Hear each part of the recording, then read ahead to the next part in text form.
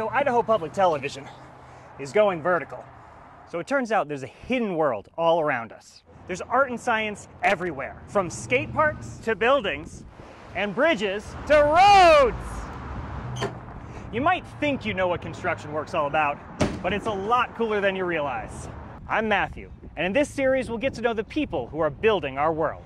Follow me at Construction Jobs Explained.